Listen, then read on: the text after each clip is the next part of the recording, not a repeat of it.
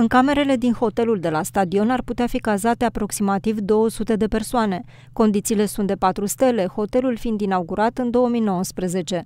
De asemenea, Direcția Generală de Asistență Socială și Protecția Copilului Gorj pune la dispoziție 70 de locuri de cazare pentru copiii ucraineni. Pot fi cazați undeva la 150-200 de persoane în funcție de cum uh, sunt grupați în camere uh, și pot fi folosite ca spații de cazare pentru perioada următoare. Avem uh, Spre exemplu, pregătite 70 de locuri pentru copii instituționalizați, care pot fi primiți oricând uh, din Ucraina, 50 uh, dintre aceștia copii cu dezabilități. De la inaugurare, hotelul a mai găzduit doar persoane carantinate în pandemie. Singurele spații de cazare pe care le posedă autoritatea publică locală sunt la stadionul municipal, în acel complex hotelier construit odată cu stadionul.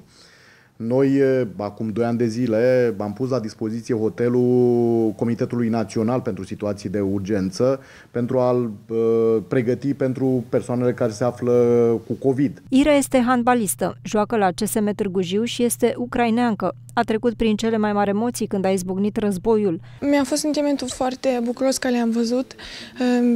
Îmi dau seama prin ce a trecut acolo, prin un război, prin niște rachete cu bombe, dar mă bucur că au ajuns cu bine și am reușit să le salvez din așa să spun, și să ele iau la mine să știu că sunt în siguranță. Din păcate, fratele meu mai mare a rămas în Kiev, dar bărbații între 18 și 60 de ani n-au voie să iasă din țară. Deja mai mulți ucraineni au cerut azil în județul Gorj. Sunt uh, persoane uh, care sunt în tranzit. Uh, într-adevăr, acestea nu se iau în evidență, dar